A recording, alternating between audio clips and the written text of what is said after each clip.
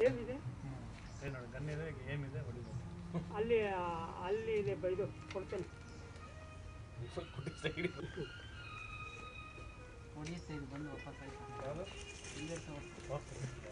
ಇದು ಹೊಡಿಯುತ್ತಾ ಇದಿಲ್ಲ, ಅದೇ ಬಂದು ಹೊಡೆಯೋದು ಇಲ್ಲ ಇಲ್ಲ ಇಲ್ಲ. ಅಂತ ಸ್ಟ್ರಾಂಗ್ ಇಲ್ಲ ಬಟ್ ಇಲ್ಲಿ. ನಾ ಹೊಡೆದ್ವಲ್ಲ ಸರ್ ನಿಮ್ಮ ಇದರಲ್ಲಿ. ಸಂತೋಷ್ ಬಾಬು ಹೊಡಿಲಿಲ್ಲ ನೀವು? ಪ್ರತಾಪ ಲೋಡ್ ಆಗಿದ್ದು ಬಂದು ತಗೊಂಡು ಹಿಂಗೆ ಹಿಂಗೆ ಅಂದ್ಕೊಂಡು ನೀನು ಹಿಂಗೆ ಇಟ್ಬಿಟ್ರೆ ಪ್ರಾಕ್ಟೀಸ್ ಅನ್ನೋದು ಅದಕ್ಕೆ ಗನ್ನುಗಳಿದಾವೆ ನೋಡಿ ಹೊಡಿಲಿಲ್ವಾ ನೀವು ಸಂತೋಷ ಚಿಕ್ಕಮಂಗ್ಳೂರು ಇದೆಯಲ್ಲ ಈಗ ಈಗ? ತಾತ ಹೇಳ್ತು ಅದು ಫೋಟೋ ಗೀಟ ಎಲ್ಲ ಬಂತು ಟ್ರೈನಿಂಗ್ ಅಂತ ಒಂದು ಅಲ್ಲ ನಮಗೆ ಹೊಡಿರಿ ಅದು ಹೊಡಿರಿ ಹೊಡೀರಿ ಹೊಡೀರಿ ಅಂತ ನಮ್ಮ ಪಾಪ ಅವಾಗ ಕ್ಲಾಸ್ ಇದ್ದೆಲ್ಲ ಹೊಡ್ಸಿದ್ರು ನಮ್ಮ ಹತ್ರ ನಾವು ಹೊಡೆದು ಅದು ಅಂದರೆ ಗುರಿಗೆ ಮುಟ್ಟಕ್ಕಾಗಲ್ಲ